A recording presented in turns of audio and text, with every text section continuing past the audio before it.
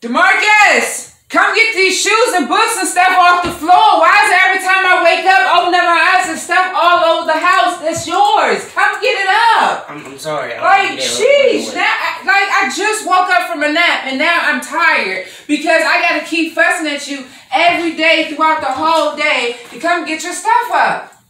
I'm sorry. Come on. Like, I, I need you to work with me, son. Like, I, this is draining me. I have a mental disability. Okay? I need for you to understand me fussing at you or me having to tell you to do something more than two or three times drains me. Do you understand? Okay. But thank you.